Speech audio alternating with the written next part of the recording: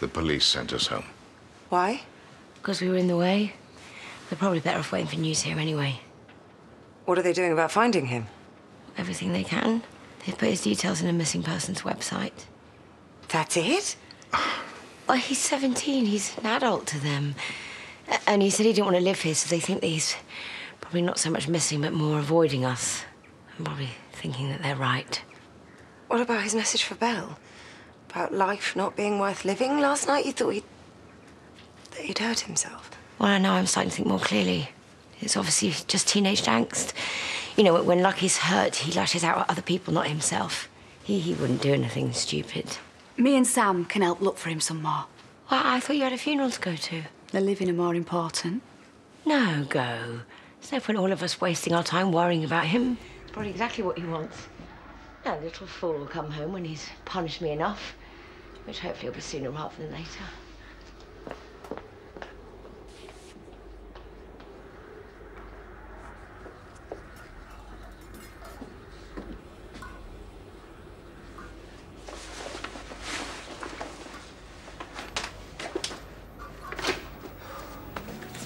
What's Rebecca said about Lachlan? Is he still missing? Should I keep looking for him? I, I don't know. Are you heading up there now? I could use a lift. No, check in with his mum and see what else I can do. I spoke to that policeman and gave him a few pointers about where Lachlan usually hangs out, but he didn't seem too hopeful. Hey, uh, get a latte to take away, please. Of course. Hello?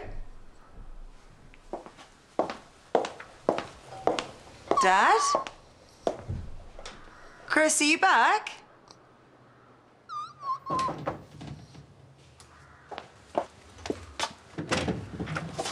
What?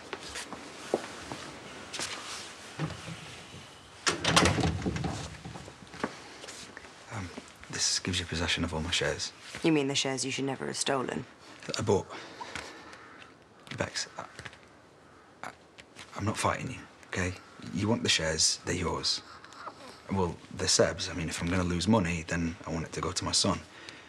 You're in control of them until he turns 21. Here. Have a look while I take him. Don't touch him. I'm, I'm giving you what you want here. All the shares, no fight, no fuss.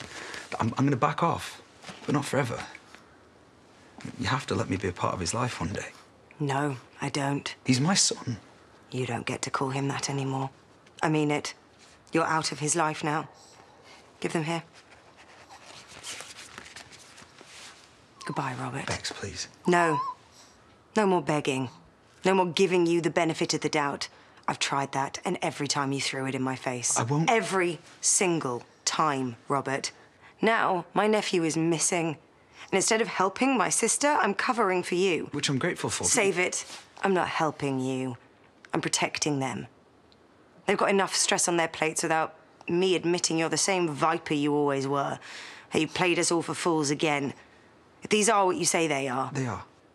then we never have to speak to you again.